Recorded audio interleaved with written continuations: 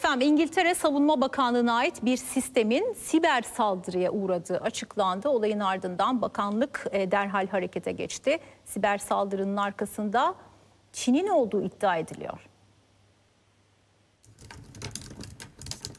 İngiltere Savunma Bakanlığı'na ait sistem hacklendi. Askeri personelin kişisel bilgileri ifşa edildi.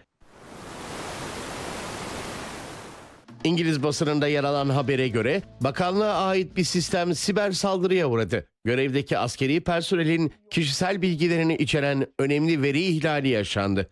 Hem mevcut hem eski silahlı kuvvetler mensuplarının bazılarının isimleri ve banka bilgilerini içeren maaş bordrosu sistemine yetersiz erişim sağlandı. Olayın ardından Savunma Bakanlığı harekete geçti. Soruşturmalar devam ederken sistem devre dışı bırakıldı. From day one, we'll set this coalition Elde edilen verilerin ne için kullanılabileceği bilinmiyor. İngiliz hükümeti saldırının arkasında kimin olduğunu açıklamadı. İngiltere parlamentosu milletvekillerinin veri ihlali hakkında bilgilendirileceği belirtildi.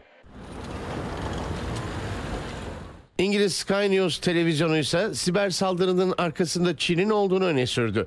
Başbakan yardımcısı Oliver Dowden 25 Mart'ta parlamentoda yaptığı konuşmada hem İngiltere'nin seçim izleme kurumuna hem de milletvekillerine yönelik iki ayrı kötü niyetli siber saldırının arkasında Çin devletine bağlı aktörlerin olduğunu söylemişti.